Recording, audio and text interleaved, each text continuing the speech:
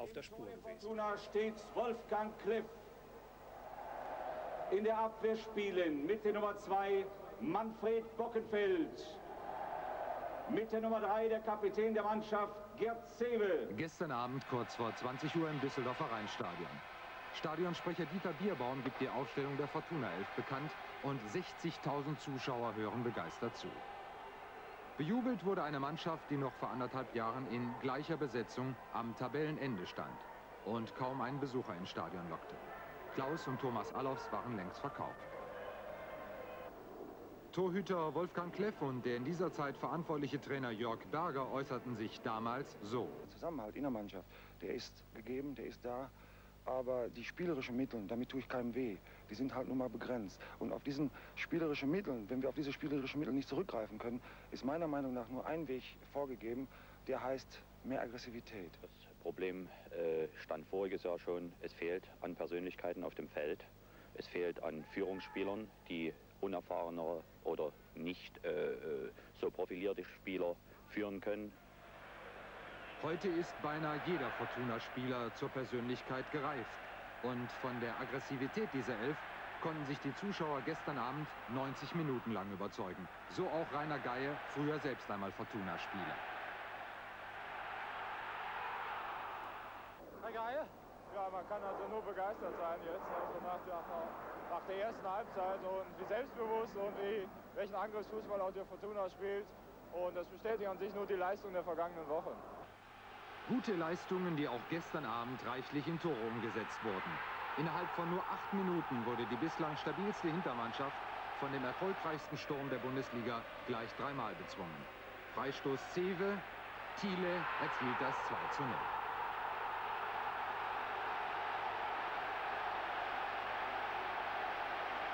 Die Treffer von Dusent, Thiele und das Eigentor von Nachtwey erschütterten letztlich auch die Moral eines Jean-Marie Pfaff.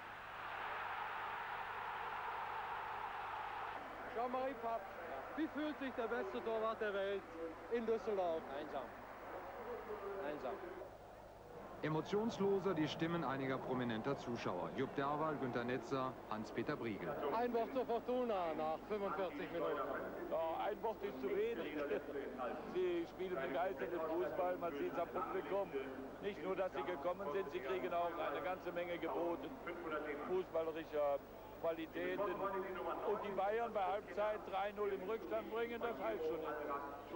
Ich nehme an, dass Sie sich drei Spieler besonders anschauen. Bockenfeld, Bommer und vielleicht auch Zebe. Oh, da gibt es noch Rummenigge und sowas alles. Ja, ja. Ein Wort zu Bommer vielleicht. Ja, er spielt ein sehr gutes Spiel. Das hat er schon gegen Gladbach getan. Und äh, ich hoffe, dass noch seine Form noch länger anhält. So gefällt er Ihnen, ja? Ja, natürlich. Sie haben jetzt eine Halbzeit gesehen, die sicher auch für Sie beeindruckend war.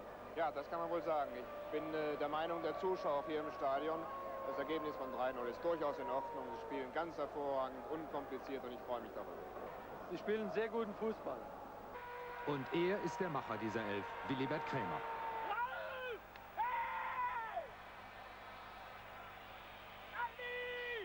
Aus einer müden und deprimierten Mannschaft hat er einen ernsthaften Mitbewerber um die deutsche Meisterschaft gezaubert. Nach dem 4 zu 1 gegen den Tabellenführer aus München muss man diese Fortuna ganz oben einordnen. Zumal in der Düsseldorfer Torfabrik ein jeder für einen Treffer gut ist. Hier ist es Edwaldson nach Vorarbeit von Bommer.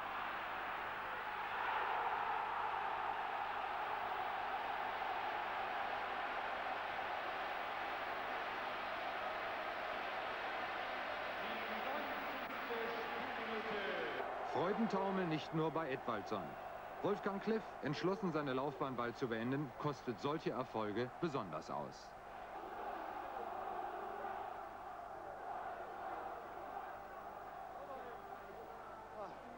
Und den Verein wollen Sie verlassen, um Anturien zu züchten. Lass mal Luft holen. Ich finde, Antonio sind auch ganz schön. Aber ich nichtsdestotrotz, dieser Sieg heute gegen Bayern, das ist mir mit, in, in Gladbach mit jahrelang nicht gelungen. Ja, heute haben wir es geschafft und ich glaube, es war verdient. Ein Höhepunkt in Ihrer Laufbahn. Sagen wir mal, ein Höhepunkt am Ende der Laufbahn. Ja, auf jeden Fall. Sie wollen aufhören. Ich habe es mir vorgenommen, ja. Ich meine, dass der Beruf, der ansteht, nach meiner Karriere wesentlich wichtiger ist. Fußball spiele ich noch vielleicht noch zwei Jahre. Ich glaube, in meinem Beruf bin ich vielleicht noch 20 Jahre tätig. Also ist da die Relation zu sehen. Sagen Sie noch ein Wort. Wie hat Willibert Krämer verstanden, aus dieser Mannschaft, aus der desolaten Fortuna, diese Mannschaft von heute zu machen? Ich glaube, dass das ein Zusammenwirken ist. Ich meine, da gibt es ja fast nur, äh, sozusagen fast nur banale Worte, die man verwenden kann, die jeder abgedroschene Sachen. Das kann man gar nicht erklären, man muss dabei gewesen sein. Ich glaube, dass jedes Wort ist da zu viel, das wäre, wäre zu wenig, sagen wir so umgekehrt, das wäre zu wenig. Das ist, ja, dem, äh, den Vorteil, den großen Vorteil hat, der liegt im menschlichen Bereich. Also wenn man davon, äh, wenn man sagt, zum Beispiel ein Trainer, der ein Kumpel ist, ist ein schlechter Trainer. Bei uns ist das Gegenteil. Der ist ein Kumpel und trotzdem kann er sich durchsetzen und hat Autorität. Und das ist im Moment sehr wichtig. Er passt zu uns. Er ist auch als Fußballer meiner Meinung nach jung geblieben, genau wie ich. Gelöste Atmosphäre bei der Pressekonferenz auch beim Verlierer Udo Lattek. Udo Lattek, wenn Sie Ihren Kommentar ist nett von dir, dass du jetzt hier zu mir sagst und mal zu uns. Eine gewisse Art von Rücksichtnahme erwidert Düsseldorfs Manager Fassbender. Das war, das war aber die einzige heute. Die spielst ganz klar. In der Kabine wurde derweil Rudi Bommer besonders gefeiert. Und die Verantwortlichen, Trainer Willibert Krämer und Präsident Bruno Recht, ziehen Bilanz. Willibert Krämer, wann steht denn die Fortuna an erster Stelle? Also so vermessen sind wir nicht. Wir haben sicherlich heute äh, ein äh, begeisterndes Spiel geboten. Wir wollen versuchen, das auch in Zukunft zu machen und dann äh, kommt das andere ganz von alleine da. Ich glaube, wenn wir äh, das untermauern können, was die Mannschaft heute gezeigt hat, dann äh, können wir stolz und glücklich sein. Die Fortuna jetzt schuldenfrei nach diesem Spiel?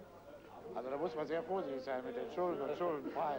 Ich spreche nicht gerne über Zahlen, aber wir, äh, ich sehe allmählich Land und äh, das äh, ist natürlich sehr erfreulich.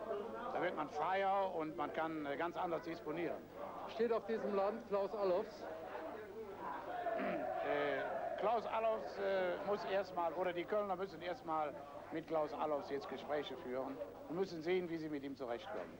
Und wenn sie nicht mit ihm zurechtkommen sollten, bin ich äh, für Klaus Allofs jederzeit sprechbereit. Sie auch?